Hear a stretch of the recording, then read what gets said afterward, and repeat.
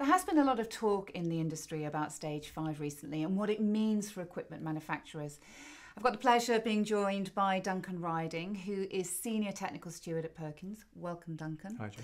He'll talk us through the latest emissions standards. So, firstly, could you just describe what technology changes will Stage 5 drive?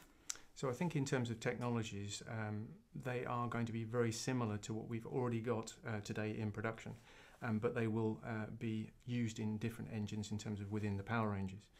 So um, DPFs, diesel particulate filters, are the major change from 19 to 560 kilowatts, where uh, additional controls are required for particulates. So that technology is a requirement for stage five, where in certain elements it's not required in other territories.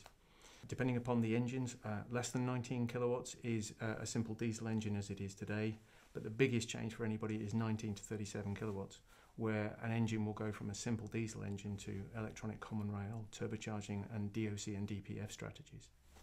37 to 56 is the addition of the DPF, and above 56, very, very similar to what we're doing today. It's, it's um, very similar technology to what's in production at the moment. What does a DPF do? So when we burn hydrocarbon fuels, um, we break up the hydrogen and carbon. Hydrogen combines with oxygen to give me water, and the carbon combines with oxygen to give me CO2. That's perfect combustion. If I release the carbon, but I don't actually combine it with oxygen, I get visible smoke. So that's what comes out of the tailpipe. So a diesel particulate filter is what it sounds like. It's a filter of the particles that come from burning diesel fuel. So it has um, the technologies required for stage five will be a wall flow diesel particulate filter. So very high filtration efficiency, like 98% plus. And on that basis, it's significantly reducing the amount of particulate that would otherwise come out of the tailpipe. What is the difference then between service and regeneration? That's a very good question. Um, regeneration is, is effectively burning of the carbon that's in the DPF.